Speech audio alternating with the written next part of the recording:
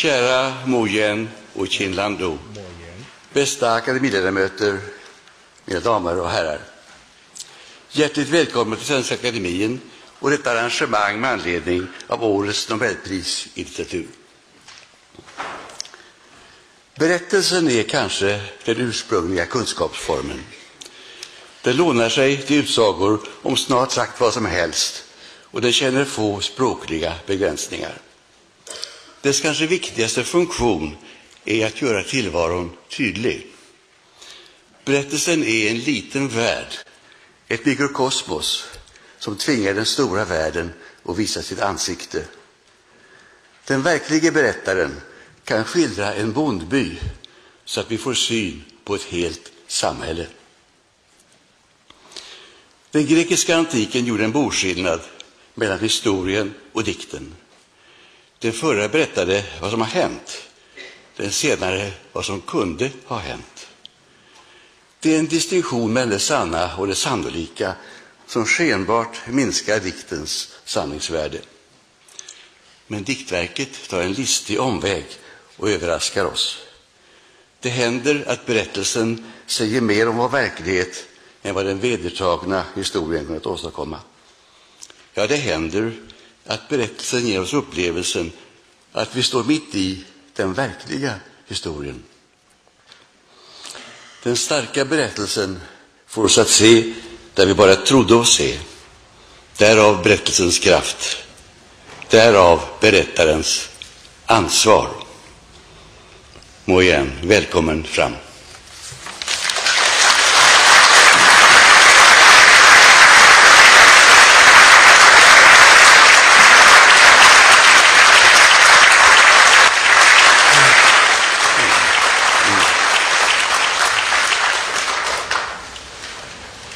呃，我说了一句演讲演讲稿之外的话。两个小时以前.我们瑞典学院的常务秘书，他的夫人生了一个小女孩，这是一个美丽的故事的开端啊！我相信我们在座的有懂中文的，也懂外文的人，会把我刚才的话转译给大家。我向他表示热烈的祝贺。嗯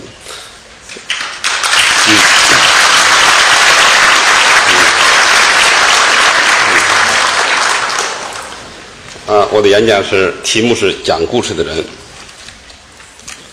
尊敬的瑞典学院各位院士、女士们、先生们，通过电视或者网络，我想在座的各位对遥远的高米东北乡已经有了或多或少的了解。你们也许看到了我的九十岁的老父亲，看到了我的哥哥姐姐、我的妻子、女儿和我的一岁零四个月的外孙女。但有一个我此刻最想念的人，我的母亲，你们永远无法看到了。我获奖后，很多人分享了我的光荣，但我的母亲却无法分享了。我母亲生于一九二二年，卒于一九九四年，她的骨灰埋葬在村庄东面的桃园里。去年，一条铁路要从那儿穿过。我们不得不将他的坟墓迁移到距离村子更远的地方。掘开坟墓后，我们看到棺木已经腐朽，母亲的骨质已经与泥土混为一体。我们只好象象征性的挖起一些泥土，移到新的墓穴里。也就是从那那一时刻开始，我感到我的母亲是大地的一部分。我站在大地上的诉说。就是对我母亲的诉说。我是我母亲最小的孩子，我记忆中最早的一件事是提着家里唯一的一把热水瓶去公共食堂打开水，因为饥饿无力，失手将热水瓶打碎，我吓得要命，钻进草垛，一天没敢出来。傍晚的时候，我听到了母亲呼唤我的乳名，乳名，我从草垛里钻出来。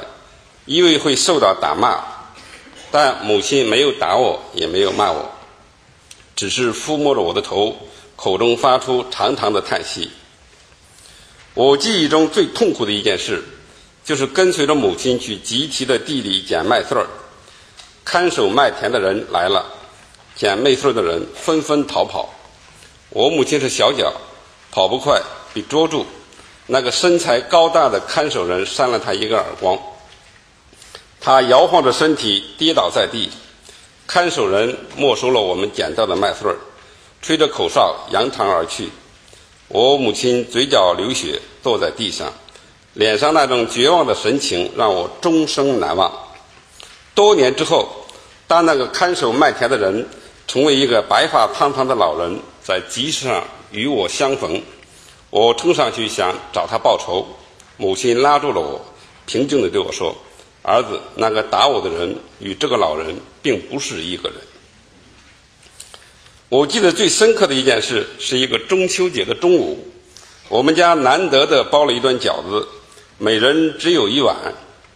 正当我们吃饺子时，一个乞讨的老人来到了我们家门口。我端起半碗红薯干打发他，他却愤愤不平地说。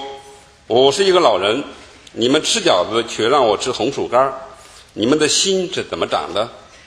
我气急败坏地说：“我们一年也吃不了几次饺子，一人一小碗，连半饱都吃不了，给你红薯干就很好了。你要不要？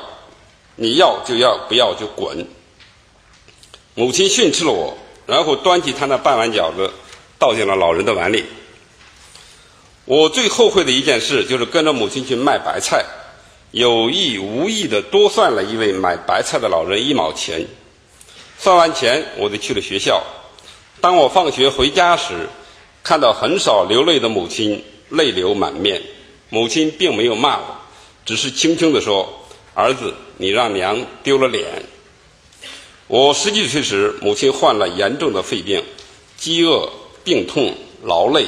使我们这个家庭陷入困境，看不到光明和希望，我产生了一种强烈的不祥之感，因为母亲随时都会自寻短见。每当我劳动归来，一进大门就高喊母亲，听到她的回应，心中才感到一块石头落了地。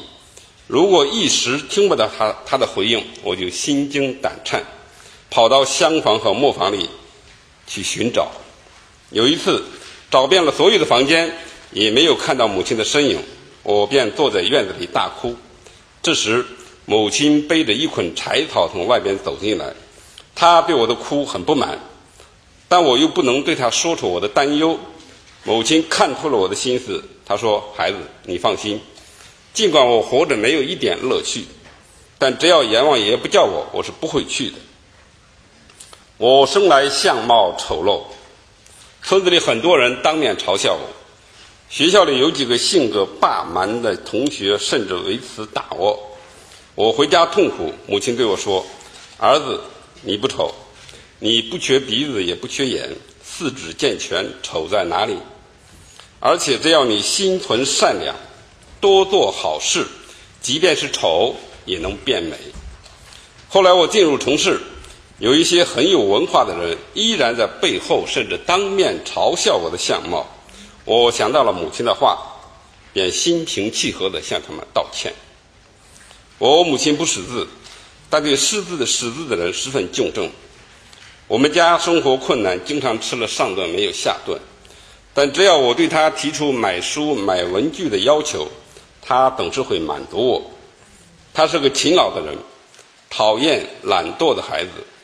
但只要是我因为看书耽误了干活，他从来没有批评过我。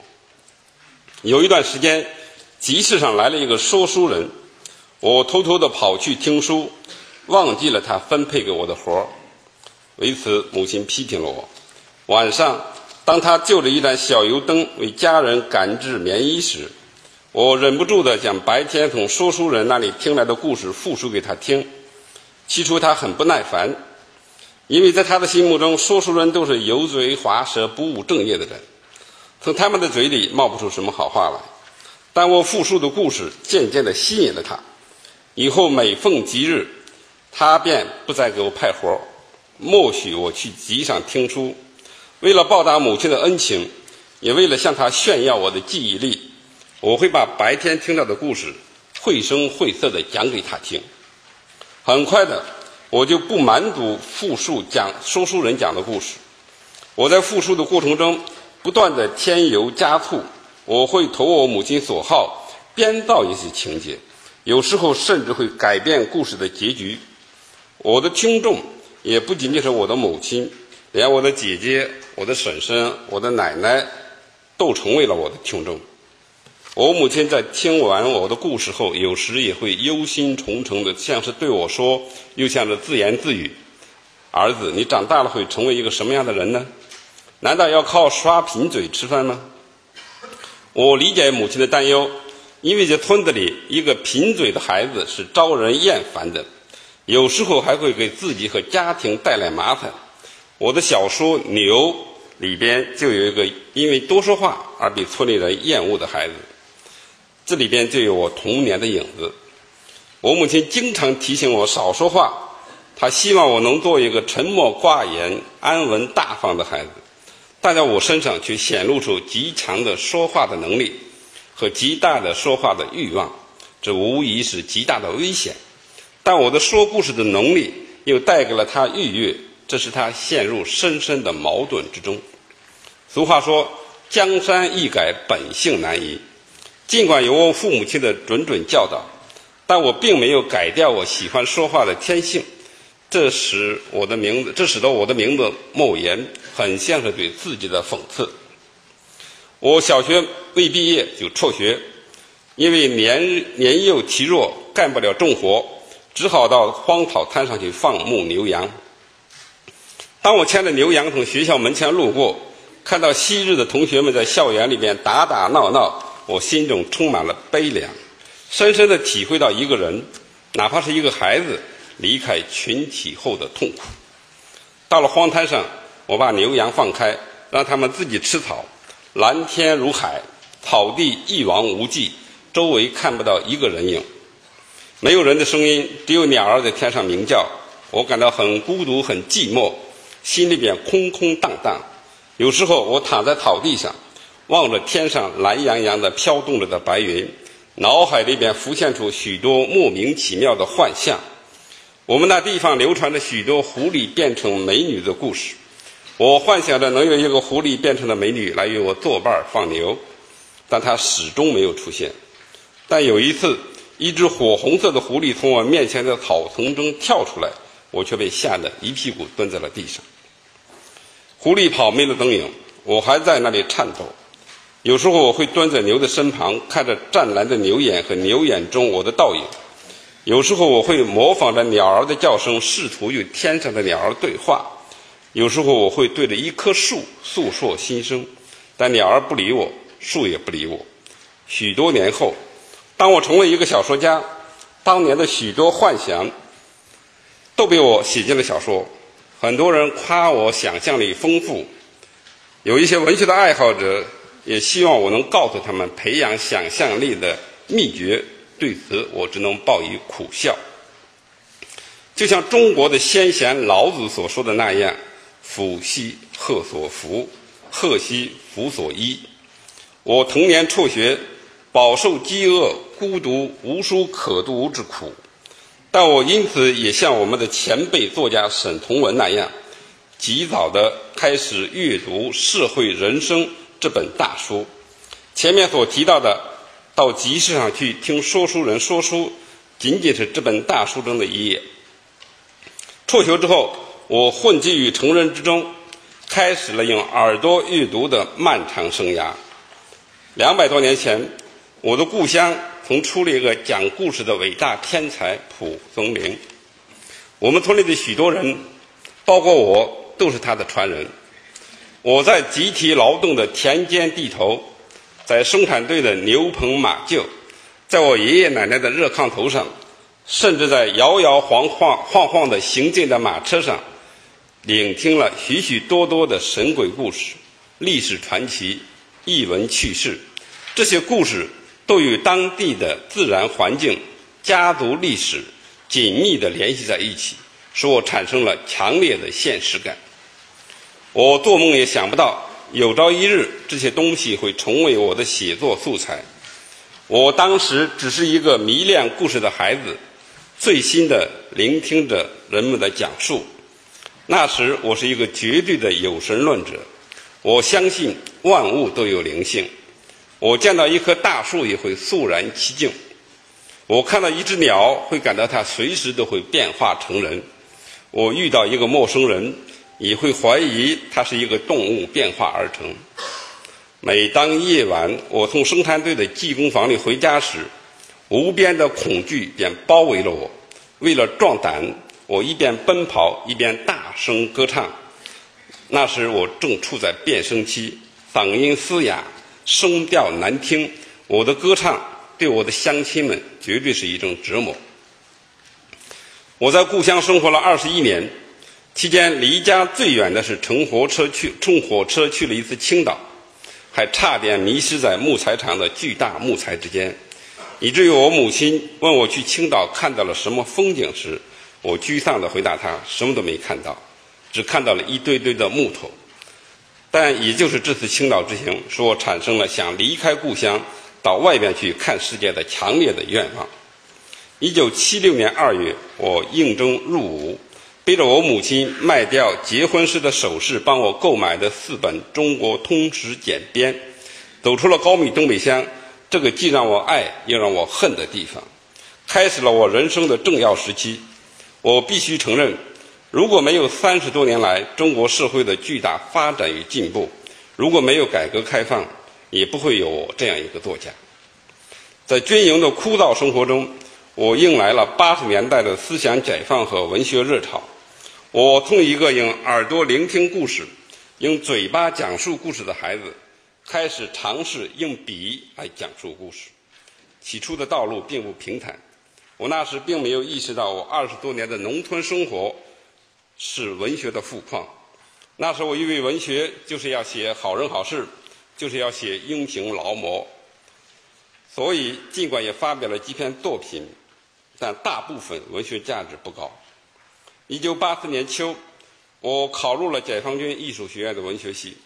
在我的恩师、著名作家徐怀铮的启发指导下，我写出了《秋水》《枯荷》《透明的红萝卜》。《红高粱》等一批中短篇小说，在《秋水》这篇小说里，第一次出现了“高米东北乡”这个字眼，从此就如同一个四处游荡的农民，有了一片土地。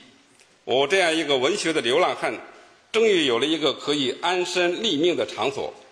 我必须承认，在创建我的文学领地“高米东北乡”的过程当中。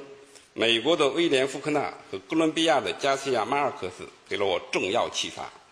我对他们的阅读并不认真，但他们开天辟地的豪迈精神激励了我，使我明白了一个作家必须要有一块属于自己的领地。一个人在日常生活中应该谦卑退让，但在文学创作中必须颐指气使、独断专行。我追随这两位大师两年，即意识到必须尽快的逃离他们。我在一篇文章中写道：“他们是两座两座灼热的火炉，而我是冰块如果离他们太近，就会被他们蒸发掉。”根据我的体会，一个作家之所以会受到某一位作家的影响，其根本是因为影响者和被影响者灵魂深处的相似之处。正所谓，正所谓正所谓，心有灵犀一点通。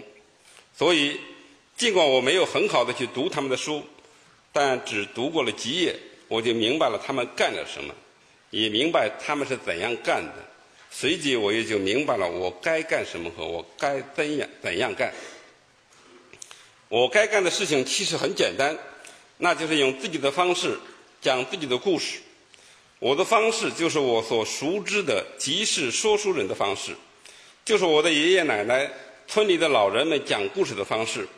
坦率地说，讲述的时候，我没有想到谁会是我的听众。也许我的听众就是那些跟我母亲一样的人，也许我的听众就是我自己。我自己的故事。起初就是我的亲身经历，譬如枯荷中那个遭受痛痛打的孩子，譬如透明的红萝卜中那个自自始自始至终一言不发的孩子。我的确曾经因为干过一件错事而受到过父亲的痛打。我也的确曾在桥梁工地上为铁匠师傅拉过风箱。当然，个人的经历无论多么奇特，也不可能原封不动地写进小说。小说必须虚构，必须想象。很多朋友说《透明的红萝卜》是我最好的小说，对此我不反驳，也不认同。但我认为《透明的红萝卜》是我的作品中最富有象征性、最意味深长的一部。那个浑身漆黑。具有超人的忍受痛苦的能力和超人的感受能力的孩子，是我全部小说的灵魂。尽管在后来的小说里，我写了很多的人物，但没有一个人物比他更贴近我的灵魂。或者可以说，一个作家所塑造的若干人物中，总有一个领头的。这个沉默的孩子就是一个领头的，他一言不发，但却有力地领导着形形色色的人物。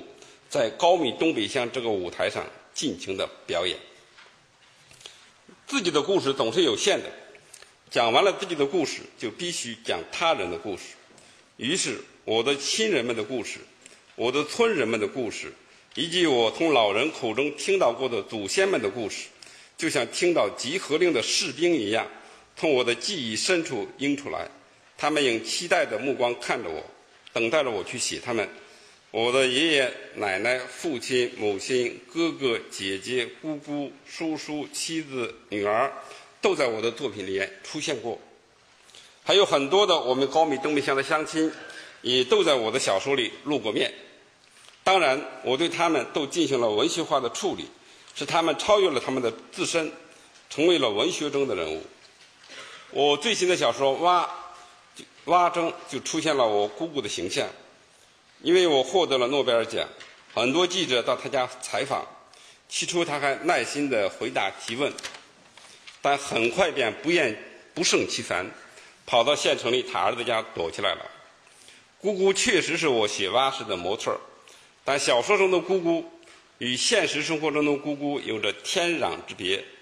小说中的姑姑专横跋扈，有时候简直像个女匪；现实中的姑姑和善开朗。是一个标准的贤妻良母。现实中的姑姑晚年生活幸福美满，小说中的姑姑到了晚年，却因为心灵的巨大痛苦，患上了失眠症，身披黑袍，像个幽灵一样在暗夜中游荡。我感谢姑姑的宽容，她没有因为我在小说里把她写成那个样子而生气。我也十分敬佩我姑姑的明智，她正确地理解了小说中人物。与现实中人物的复杂关系。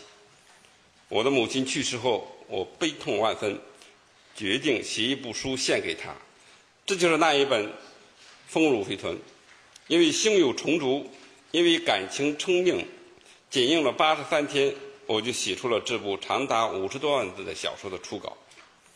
在《丰乳肥臀》这本书里，我肆无忌惮地使用了与我母亲的亲身经历有关的素材。但书中的母亲情感方面的经历则是虚构或取材于高米东北乡诸多母亲的经历。在这本书的卷前语上，我写下了献给母亲在天之灵的话。但这本书实际上是献给天下母亲的，这是我狂妄的野心。野心，就像我希望把小小小小的高米东北乡写成中国乃至世界的缩影一样。作家的创作过程各有特色，我每本书的构思与灵感出发也都不尽相同。有的小说起源于梦境，譬如《透明的红萝卜》；有的小说则发端于现实生活中发生的事件，譬如《天堂钻台之歌》。但无论是起源于梦境，还是发端于现实，最后都必须和个人的经验相结合，才有可能变成一部具有鲜明个性的。用无数生动细节塑造出了典型人物的语言丰富多彩、结构匠心独运的文学作品。有必要特别提及的是，在《天堂蒜台之歌》中，我让一个真正的说书人登场，并在书中扮演了十分重要的角色。我十分抱歉地使用了这个说书人的真实姓名，当然，他在书中的所有行为都是虚构。在我的写作中出现过多次这样的现象。写作之初，我使用他们的真实姓名，希望能借此获得一种亲近感。但作品完成之后，我想为他们改换姓名，却感到已经不可能了。因此，也发生过与我小说中人物同名的人找到我父亲发泄不满的事情。我父亲替我向他们道歉，但同时又开导他们不要当真。我父亲说，他在《红高粱》中第一句就说：“我父亲这个土匪种，我都不在意，你们还在意什么呢？”我在写作《天堂蒜台之歌》这一类逼近社会现实的小说时，面对着的最大问题，其实不是我敢不敢对社会上的社会上的黑暗现象进行批评。而是这燃烧的激情和愤怒会让政治压倒文学，使这部小说变成一个社会事件的纪实报告。小说家是社会中人，他自然有他自己的立场和观点，但小说家在写作时必须站在人的立场上，把所有的人都当作人来写。只有这样，文学才能发端于事件，但超越事件；关心政治，但大于政治。可能是因为我经历过长期的艰难生活，使我对人性有较为深刻的认了解。我知道真正的应感是应感是什么，也明白真正的悲悯是什么。我知道每个人心中都有一片难应是非善恶准确定性的朦胧地带，而这片地带正是文学家施展才华的广阔天地。只要是准确的。生动的描写了这个充满了矛盾的朦胧地带的作品，也就必然的超越了政治，并具备了优秀文学的品质。喋喋不休的讲述自己的作品是令人厌烦的，但我的人生是与我的作品紧密相连的。不讲作品，我感觉到无法下嘴，所以还得请大家原谅。在我早期的作品中，我作为一个现代的说书人，是隐藏在文本背后的。但从《檀香刑》这部小说开始，我终于从后台跳到了前台。如果说我早期的作品是自言自语、目无读者，从这本书开始，我感觉到自己是站在一个广场上，面对着许多听众，绘声绘色的讲述。这是世界小说的传统，更是中国小说的传统。我也曾经积极地向西方的现代派小说学习。也曾经玩弄过形形色色的叙事花样，但我最终回归了传统。当然，这种回归不是一成不变的回归。《檀香刑》和之后的小说是继承了中国古典小说传统，又借鉴了西西方小说技术的混合文本。小说领域的所谓创新，基本上都是这种混合的产物，不仅仅是。本国本国文学传统和外国小说技巧的混合，也是小说和其他的艺术门类的混合。就像《檀香刑》是有民间戏曲的混合，就像我早期的一些小说从美术、音乐甚至杂技中汲取了营养一样。最后，请允许我再讲一下我的生死疲劳。这个书名来自佛教经典，据我所知，为翻译这个书名。各国的翻译家都很头痛。我对佛教经典并没有深入研究，对佛教的理解自然十分肤浅。之所以以此为题，是因为我觉得佛教的许多基本思想是真正的宇宙意识。人世中的许多分钟，在佛家的眼里是毫无意义的。这样一种至高眼界下的人生人世，显得十分可悲。当然。我没有把这本书写成布道词，我写的还是人的命运和人的情感，人的局限与人的宽容，以及人为追求幸福、坚持自己的信念所做出的牺牲与努力。小说中那位以一己之身与时代潮流对抗的蓝脸，在我心目中是一位真正的英雄。这个人物的原型是我们邻村的一位农民。我童年时。经常看到他推着一辆吱吱作响的木轮车，从我家门前的道路上通过。给他拉车的是一头瘸腿的毛驴，为他牵驴的是他小脚的妻子。这个奇怪的劳动组合，在当时的集体化社会里，显得与显得是那么古怪和不合时宜。在我们这些孩子的眼里，也把他们看成了是逆历史潮流而动的小丑，以至于当他们从街上走过时，我们都会充满义愤地朝他们投掷石块。事过多年，当我拿起笔来写作时，这个人物、这个画面便浮现在我的脑海里。我知道，我总有一天会为他写一本书，我迟早要把他的故事讲给天下人听。但一直到了二零零五年，当我在一座庙宇里看到六道轮回的壁画时，才明白了讲述这个故事的正确的方法。我获得了诺贝尔奖以后，诺贝尔文学奖后，引发了一些争议。起初，我还以为大家争议的对象是我。渐渐的，我感到这个争议的对象是一个与我毫不相关的人。我如同一个看戏的人，看着众人的表演。我看到那个得奖人身上落满了花朵，也被支上了石块，泼上了污水。我生怕他被打垮，但他微笑着从花朵和石块中站起来，他干净了身上的污水，坦然地站在一边，对着众人说：“对一个作家来讲，最好的说话方式是写作。我该说的话都写进了我的作品里，用嘴说出的话随随风而散，用笔写出的话永不磨灭。”永不磨灭。我希望你们能耐心的读一下我的书。当然，我没有资格强迫你们读我的书。即便你们读了我的书，我也不希望你们能够改变对我的看法，因为世界上没有一个作家能让所有的读者都喜欢他。在当今这样的时代里，更是如此。尽管我什么都不想说，但在今天这样的场合，我必须说话。那么，我就简单的再讲几句。我是一个讲故事的人，我还是要给你们讲故事。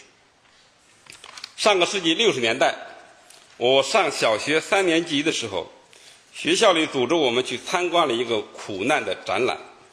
我们在老师的引领下放声大哭。为了能够让老能够让老师看到我的表演表现，我舍不得擦去脸上的泪水。我看到有几位同学还悄悄地将唾沫。抹到脸上冒充泪水，我还看到一片真哭假哭的同学之间，有一位同学脸上没有一滴泪，嘴巴里也没有一点声音，也没有用手掩面，他睁着大眼看着我们，眼睛里流露出惊讶或者是困惑的神情。事后，我向老师报告，报告了这位同学的行为，为此学校给了这位同学一个警告处分。多年之后。当我因为自己的告密向老师表示忏悔时，老师说，那天来找他说这个事儿的有十几位同学。我的这位同学十几年前就已经去世，每当想到他，我就我就深感歉疚。这件事让我悟到了一个道理，那就是，当众人都哭时，应该允许有的人不哭；当哭成为一种表演时，更应该允许有的人不哭。我再讲一个故事。三十多年前，我还在部队工作。有一天晚上，我在办公室里看书，有一位老长老长官推门进来，看了一眼我对面的位置，然后自言自语地说：“哦，没有人。”我随即站起来，高声说：“难道我不是人吗？”那位老长官被我顶得面红耳赤，尴尬而退。为了此。为了这件事，我洋洋得意了很久。我以为自己是个英勇的斗士，但事过多年之后，我却为此深感内疚。请允许我讲最后一个故事，这也是许多年前我的爷爷讲给我听过的。有八个外出打工的泥瓦匠，为躲避一场暴风雨，躲进了一座破庙。外边的雷声一阵紧似一阵。一个个的火球在庙门外滚来滚去，空中似乎还有吱吱的龙的叫声。众人都胆战心惊，面如土色。有一个人说：“我们八个人当中，必定有一个人干过伤天害理的事情。谁干过坏事儿，就自己走出庙去接受上天的惩罚，免得让我们好人受到牵连。”自然没有人愿意出去。又有人提议。既然大家都不想出去，那我们就将自己的草帽往外抛吧。谁的草帽被刮出了庙门，就说明谁干了坏事儿。那就请他出去接受惩罚。于是大家就把自己的草帽往庙门外抛，七个人的草帽都被刮回了庙内，只有一个人的草帽被卷了出去。大家就催着这个人出去受罚，他自然不愿出去，于是大家便把他抬起来扔出了庙门。故事的结局，我估计大家都猜到了。那个人刚刚被扔出庙门，那座破庙便轰然坍塌。我是一个讲故事的人，因为讲故事，我获得了诺贝尔文学奖。我获奖之后，发生了很多精彩的故事，这些故事让我坚信真理和正义是存在的。在今后的岁月里，我将继续讲我的故事。谢谢大家。